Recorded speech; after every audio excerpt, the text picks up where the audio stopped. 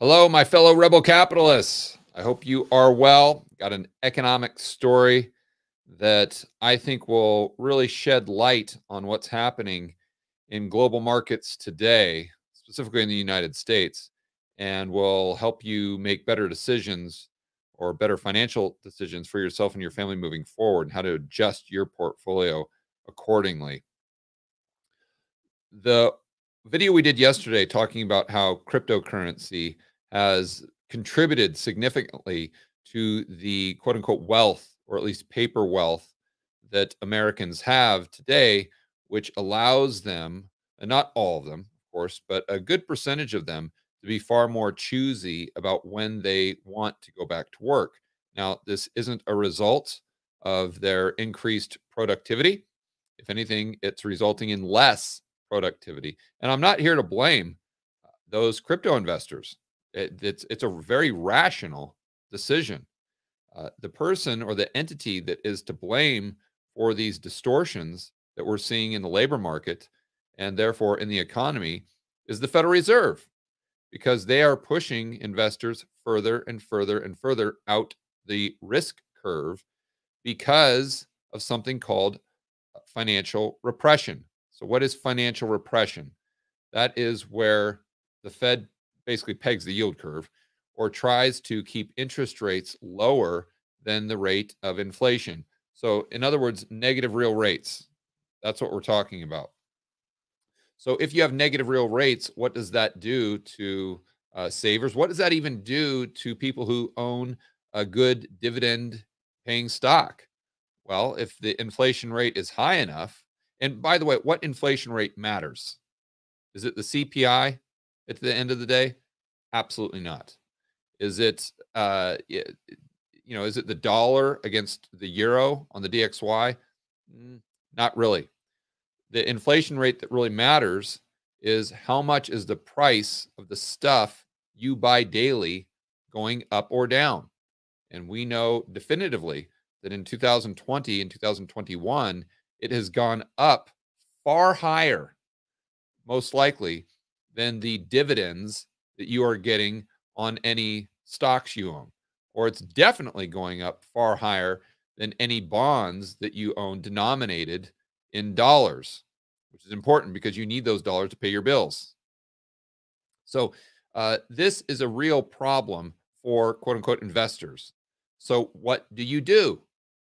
Well, if you're a retiree, if you're anyone that needs that income moving forward into the future, in order to survive because either you can't produce as much as you once did or maybe you're in that category that you don't want to produce as much as you used to by going in and, and going to work well then you've got to figure out a solution. So if the rate of interest excuse me if the rate of inflation is higher than the return that you're getting on your portfolio especially in terms of cash flow then the only option is for you to go further and further out the risk curve, which is, in my opinion, why we're seeing so many stocks like Facebook, like Tesla, just go to the moon because investors don't have any choice at the end of the day. And you just see all these massive capital flows, and it's just supply and demand. If you're not increasing the amount of stocks that are available to purchase at the same rate that you are increasing the amount of dollars that are on the balance sheet of non-bank entities in the real economy and then you layer over top of that the fact that they have to take those dollars because they're like a hot potato and the average joe and jane has to do something with those dollars because they're losing purchasing power even if those dollars are in the form of bonds that are paying them whatever, two or 3%, even if those dollars are in stocks that are paying them a six or 7% dividend yield. Uh, regardless of the capital gains, you can't live on capital gains, right? You can't take your capital gains down to the grocery store and trade them in for milk and bread. you got you got to sell in order to realize those capital gains, and then you spend that money and it's gone. It's not producing any income as opposed to a dividend paying stock where it just produces cash. You use that cash to pay your bills, but you still own the asset. Another good example would be a rental property. So this is a big problem for investors. And I think this move into cryptocurrencies, into NFTs is an example of the Fed forcing people out the risk curve just to stay afloat and just to make just to try to prevent their portfolio from losing purchasing power to the rate of inflation. And because we have seen such astronomical gains in some of these cryptocurrencies and the ones that are, are even a joke, uh, such as Dogecoin, it uh, allows people to have the option of maybe going back to work or not going back to work and producing goods and services. So at the end of the day, this is really distorting the economy tremendously. But I wanted to go over some articles that really back up this hypothesis. And then I want to give credit where credit is due. Uh, the, the, hypothesis uh, first came to my attention through Juliette Declercq on Macro Voices, and then also my good buddy Joseph Wang, who used to work at the Fed and be in charge of the New York trading desk. So he was the guy that actually did quantitative easing. And he has a tremendous blog. And um, I can't remember the name of the blog. I apologize. But Google Joseph Wang a blog, uh, Fed, and I'm sure it will come up. And this is one of his recent blog posts, which are a little shorter, but uh, just as thorough as a blog post that you would expect from all of our favorites, Lyn Alden. So let's go into the first uh, video that I think highlights what I'm saying. And there's something about comedy where it seems to really illustrate or punctuate the reality or the insanity of the world you're living in at that time. There, there's nothing that seems to communicate that better than through comedy. So, this is a gentleman that goes by the name of Remy. And uh, he put out this video at the end of April 2021. And it really dives into the dilemma that we were talking about with the Fed push, pushing people so far out the risk curve and creating this financial repression, negative real rates. So then they have to go into these highly speculative assets, such as Dogecoin. And then it really shows just the insanity of this entire process. I think you guys will get a kick out of this. Let me go ahead and I'll back up here to the very beginning and we'll give this a play. it's, I like the picture of Warren Buffett in the background. Uh, you guys are going to turn up the volume. You're going to get a kick out of this for sure. Bad news for savers, as even those with high interest savings accounts are seeing their money disappear thanks to inflation. But first, we'll detail every possible thing you could die from. He's a rational investor, dividend digester, save some of his paycheck just like all his ancestors. Him looking for high yields, that's never the case. He's seeking 6% return, slow and steady wins the race. When he checks his accounts just to see what they're fielding, it's like driving in Maryland, ain't nobody yielding. What is he to do? He shouldn't be in a drought, so he visits his advisor just to sort it all out. Inflation's higher than your bond rate. That's what I was fearing. So your savings account is slowly disappearing your CDs are pointless. That's not very funny. What would you like me to do? Put it all in dog money. Dog money, dog money, dog money, dog money. I'm trading it in for dog money, dog money, dog money, dog money, dog money. I'm putting it all in dog money. My 401k is now a 401k9. It's all my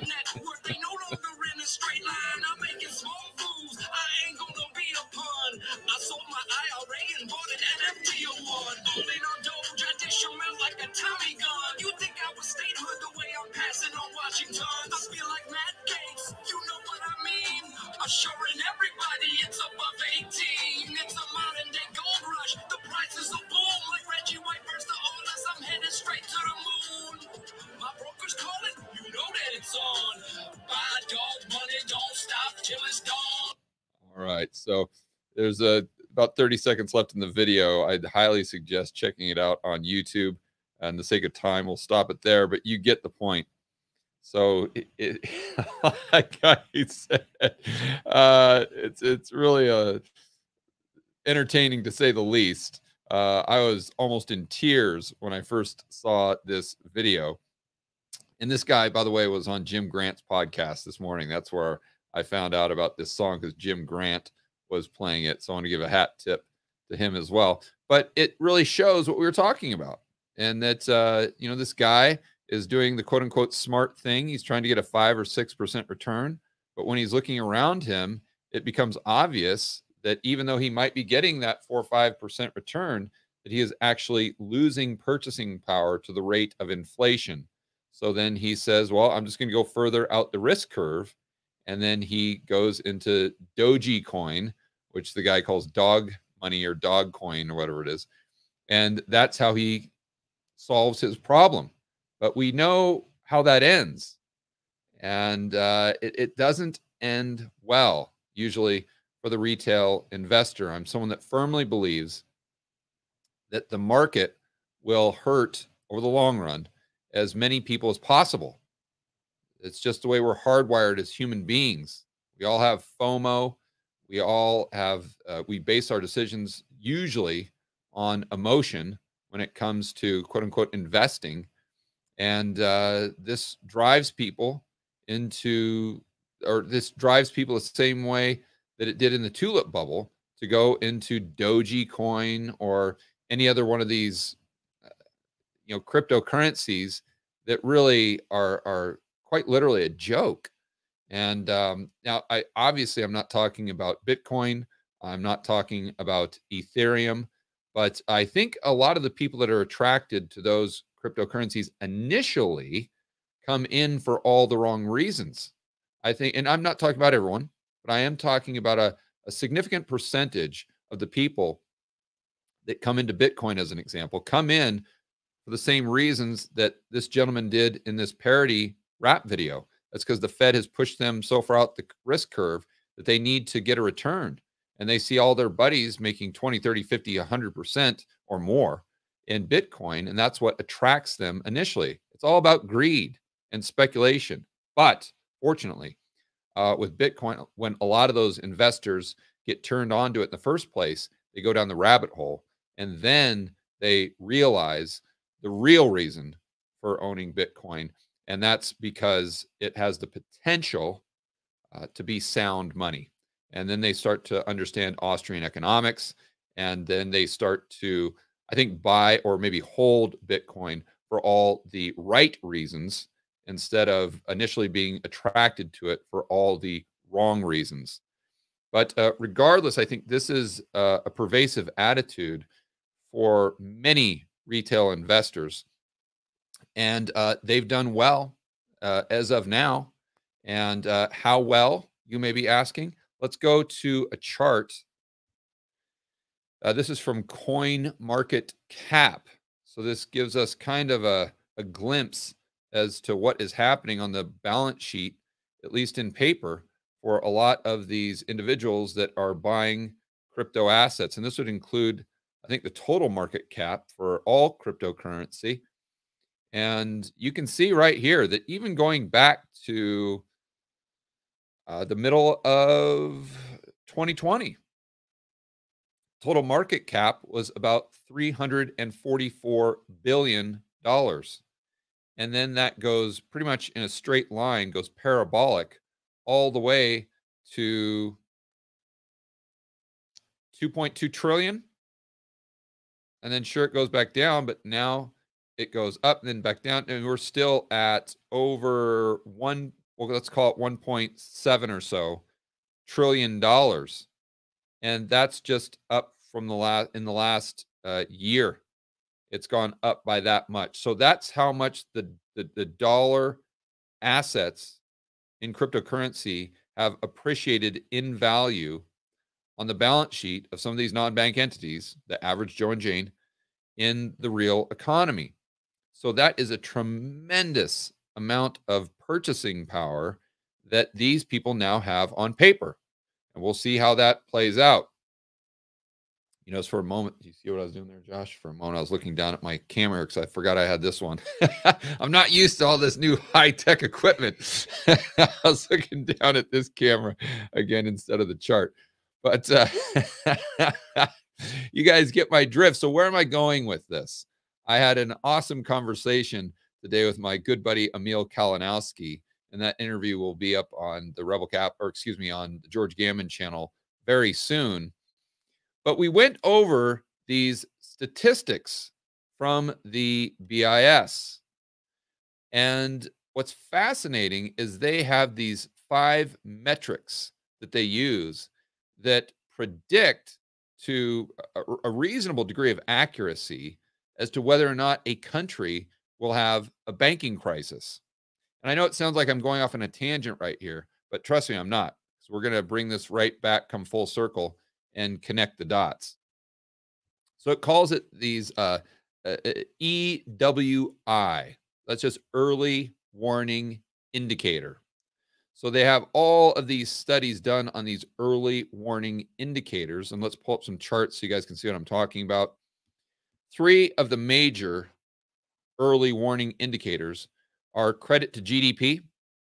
And so that is total credit in the economy relative to GDP. So this would be sovereign. This would be uh, well, public and private debt. Let's just put it that way. And what these lines represent is the delta from the trend, the historic trend. And so this dotted line on the top would be, uh, you know, the top uh, 25th, or would probably be the 75th percentile.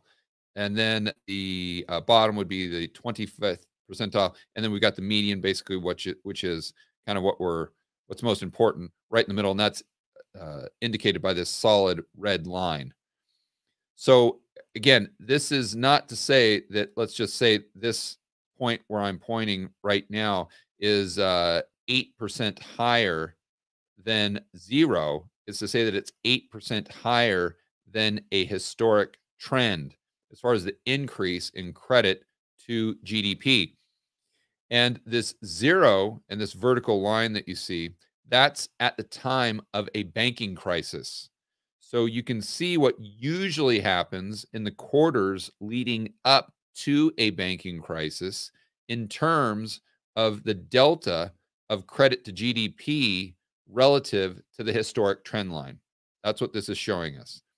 And it's not only doing it with credit to GDP, but also total DSR, which is the debt service ratio.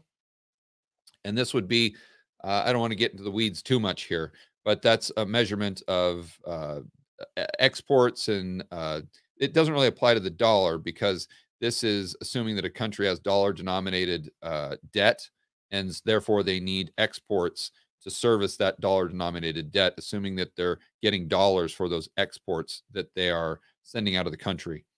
Uh, then the property price gap, and this is huge. You'll notice the uh, two biggest factors or the two most powerful metrics in predicting if there's going to be a banking failure in the country is this credit to GDP and the property price gap.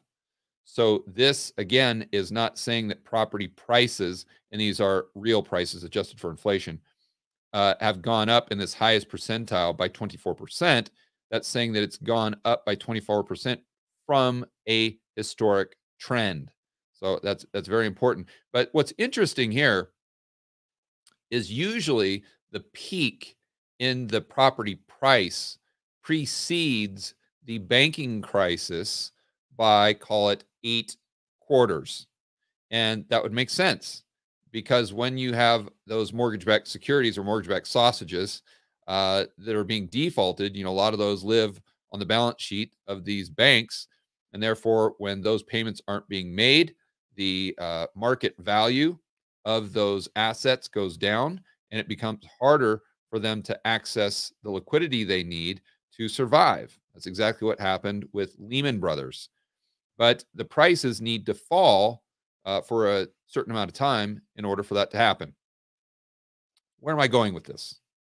Well, what I think has happened in markets like the United States is uh, the yes, the property prices are important. Why? Because the majority of people's net worth is in their house.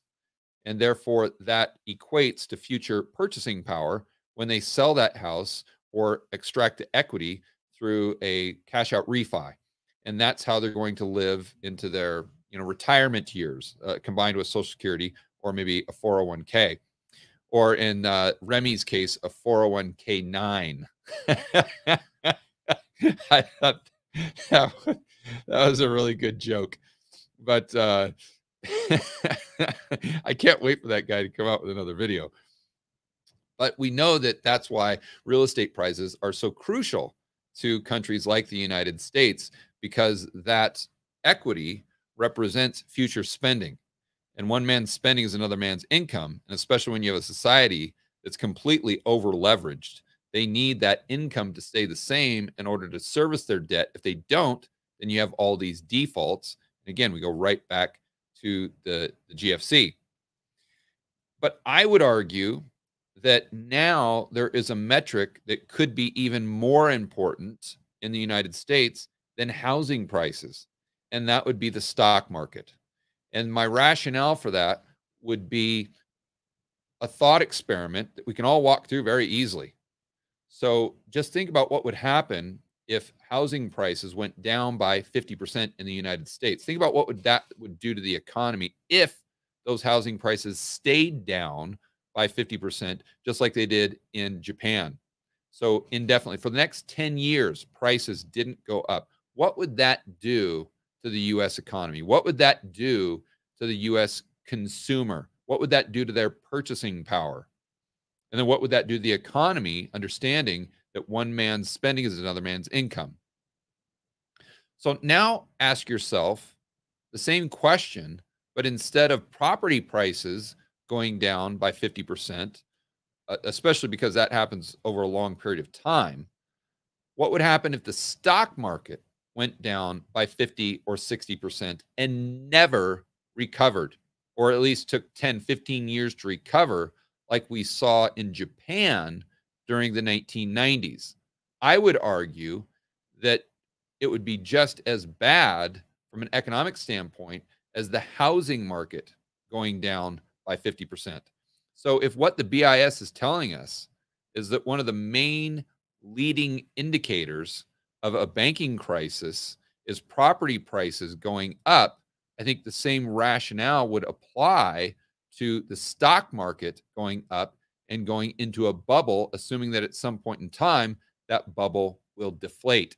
And if it doesn't deflate in nominal terms, it will at least deflate in real terms, which could have an even bigger negative impact than it just going down uh, in nominal terms, like we saw in the 1970s from 72 to 74. When, by the way, it went down by 50%. So let's tie this in to cryptocurrency. I don't think we're there yet, but let's just go through the reasons why we have seen so many or so much capital go into cryptocurrency. Well, a lot of that has to do with the Fed keeping interest rates at 0%. So you have a negative real yield the financial suppression that we talked about. A lot of that would be through government transfer payments in the form of stimmies. I mean, you you got to no matter how bullish you are on Dogecoin uh, as a cryptocurrency, you got to admit probably one of the main reasons that Dogecoin has gone up as far as it has is because uh, you know young people were getting you know these stimmy checks from the government, and it's YOLO. You only live once. So they would just go on the ride the coattails of Elon Musk and they would just put all of that stimmy money right into Dogecoin because they're playing with the house's money. So I, I don't think anyone could argue that that wasn't a contributing factor. Okay, so we understand that. Uh, so then what happens is you build this economy, and if that represents an additional, let's say, 1.5 trillion dollars in purchasing power, just like the stock market and just like the US housing market represents future purchasing power, which is, you know, one man's spending is another man's income, then we can come to the conclusion that if cryptocurrency continues to become a larger and larger portion of people's net worth, then the Fed and the government will be in the same position with cryptocurrency that they're currently in with the housing market and the stock market. And that is they can't allow it to go down. Because if the housing market goes down, if the stock market goes down, if it implodes, then so does the entire economy. Because the economy has been built around asset prices. So, again, my point is maybe not now, but if in the future the amount of wealth held by Americans in cryptocurrency becomes as significant as the stock market, the 401k, or the housing market. And again, I'm not saying it will, I'm just saying that let's just think through the probabilities here because it might. And if it does, then the government or the Fed is going to be in this very bizarre position where if cryptocurrency goes down by 50%, they may also have to come in and try to bail out the system by doing more quantitative easing, printing money, by examining what made cryptocurrency go up in the first place and continue to do more and more of that.